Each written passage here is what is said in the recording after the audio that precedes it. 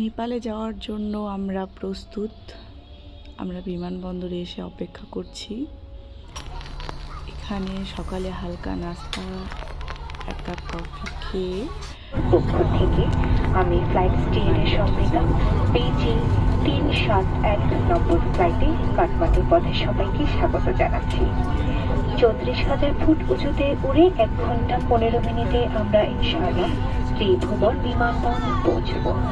আশা করি আমাদের সাথে আপনাদের এই ভ্রমণ নিরাপদ ও আরামদায়ক হবে। ধন্যবাদ। আকাশ থেকেই হিমালয় কন্যা নেপালের দেখা মিলল।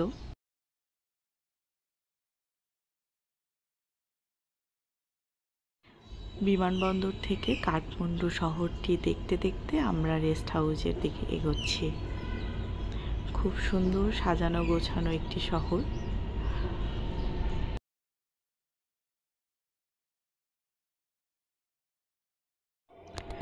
রুমে পৌঁছে কিছুটা ফ্রেশ হয়ে দুপুরের খাবারের জন্য আমরা আমাদের রেস্ট হাউসের ক্যান্টিনে চলে এসেছি। ক্যান্টিনটাও খুব সুন্দর সাজানো গোছানো।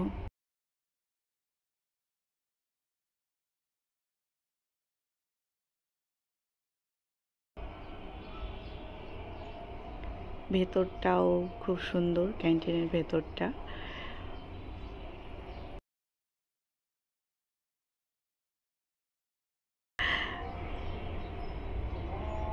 নেপালের বিখ্যাত খাবারগুলোর মধ্যে ডাল ভাতের থালিটা সবারই পছন্দের বা ফেমাস বলা যায়।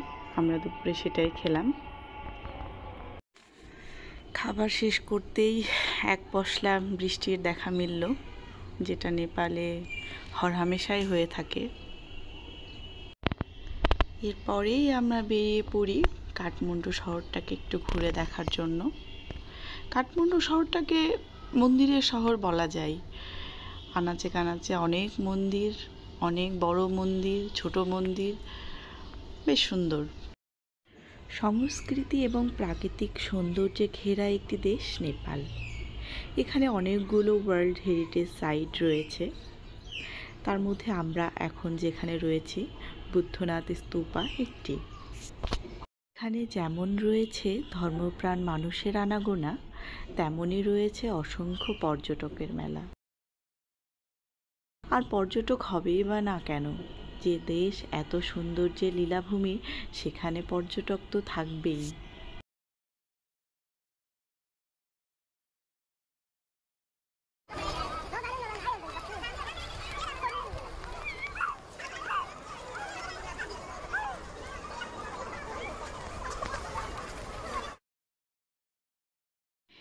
এরপরে আমরা চলে আসি পশুপতিনাথ মন্দিরে। পশুপতি হলেন ভগবান শিব, অর্থাৎ ভগবান শিবের মন্দির। বাগমতী নদীর তীরে প্রায় পাঁচশো আঠারোটি ছোট ছোট মন্দিরের সমন্বয়ে তৈরি এই পশুপতিনাথ মন্দিরটি। উনিশশো উনআশি সালে এই মন্দিরটিও ওয়ার্ল্ড হেরিটেজ সাইটের অংশ হিসেবে চিহ্নিত হয়। এটি মন্দিরের বাহিরের অংশ। ভেতরের অংশের ছবি বা ভিডিও ধারণ সম্পূর্ণভাবে নিষিদ্ধ।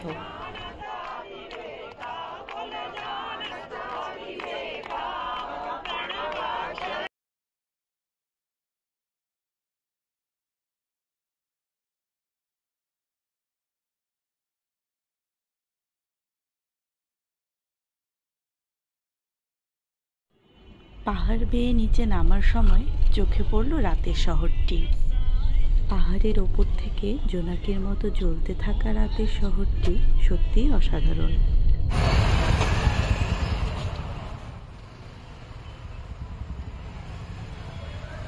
এরপরে আমরা চলে আসি কাঠমান্ডু দরবার স্কয়ারে। নেপালে বেশ কয়েকটি দরবার স্কয়ারে দেখা মিলবে। যার সবগুলোই ওয়ার্ল্ড হেরিটেজ সাইটের অংশ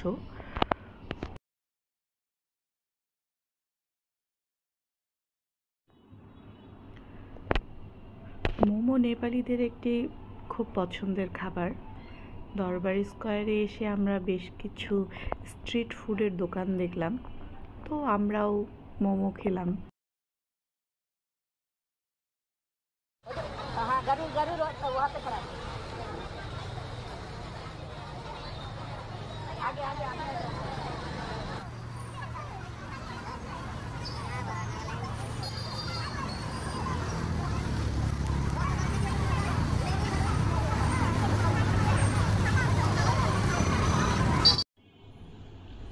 এরপরেই আমরা চলে আসি আমাদের রেস্ট হাউসে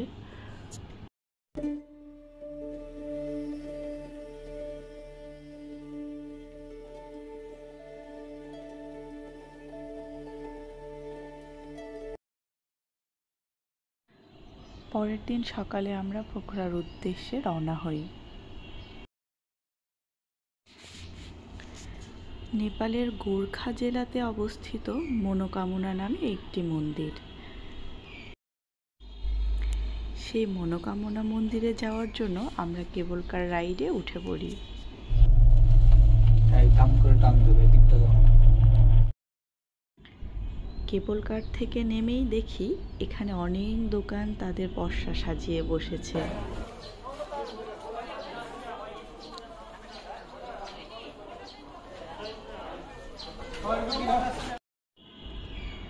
এখানকার রীতি রেওয়াজ মেনে আমরাও একটি ছোট ফুলের ঝুড়ি কিনে নিই, যেখানে রয়েছিল ধূপকাঠি, ফুল, নারকোল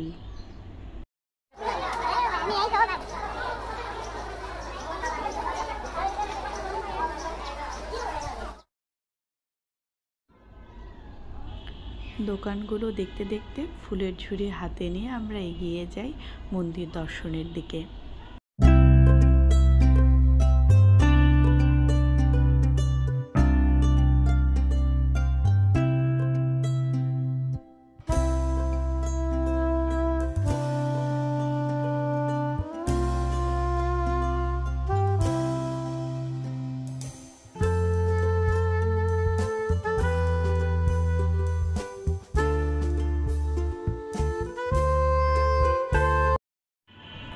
মঙ্গলদ্বীপ জ্বালানো শেষ করে আমরা দুপুরের খাবারের জন্য এখানকার একটি স্থানীয় রেস্টুরেন্টে চলে যাই।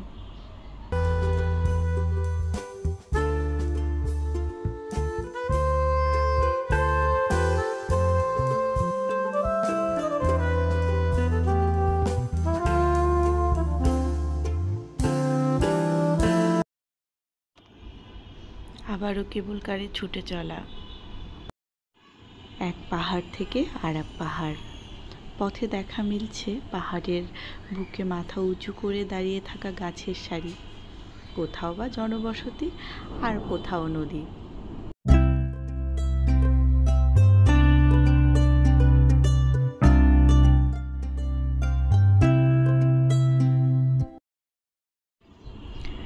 বোঝাই যাচ্ছে যখন কেবল কারের ব্যবস্থা ছিল না তখন এই মন্দিরে দেখা পাওয়া কিন্তু ততটা সহজ ছিল না।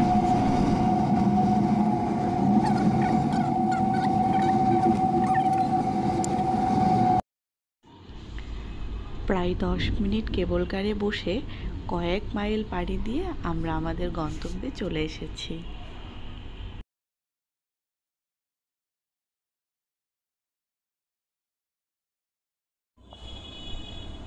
এরপর আমরা চলে আসি বান্দিপুর বলে একটি জায়গায়। এখানকার স্থাপত্য শৈলী যে কাউকে মুগ্ধ করবে, আমিও তার ব্যতিক্রম নই। সূর্য পাহাড়ের ওপরে একটি সুন্দর শহর। কি অপার সৌন্দর্য নিয়ে দাঁড়িয়ে আছে, সত্যিই মনোমুগ্ধকর।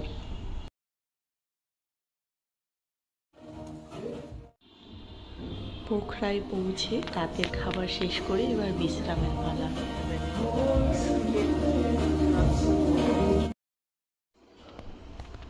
ভোর চারটা ত্রিশে ড্রাইভারকে সাথে নিয়ে আমরা চলে আসি সারাংপুর সানরাইজ ভিউ পয়েন্টে। বেশ কিছু সময় অপেক্ষার পরে কুয়াশার চাদর সরে শেষ পর্যন্ত সূর্যি মামার দেখা মিলল।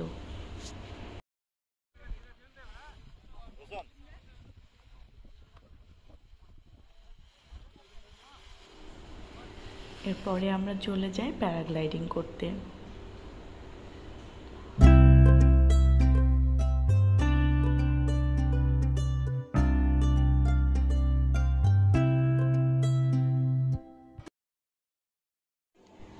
আমরা এখন এসে পৌঁছেছি গুপ্তেশ্বর মহাদেব কেভে। বাহিরে এই সময় মুষলধারে বৃষ্টি হচ্ছে।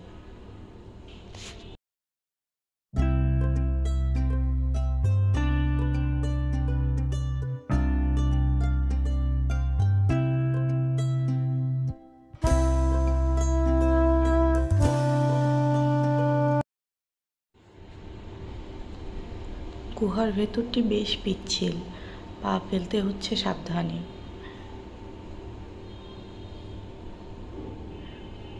কোথাও কোথাও আলোর ব্যবস্থা থাকলেও কোথাও কোথাও আবার অন্ধকার।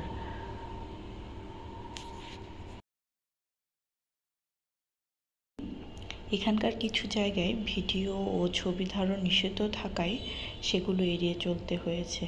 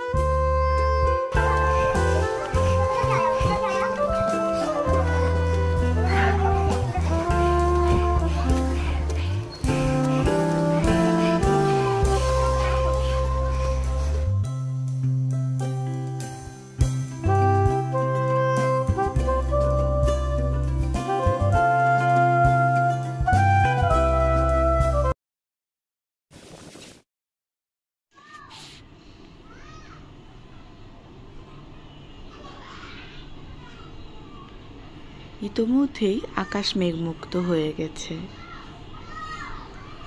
পোখরা শহরের আরও কিছু দর্শনীয় জায়গা দেখে আমরা চলে যাই ফেওয়া লেকে।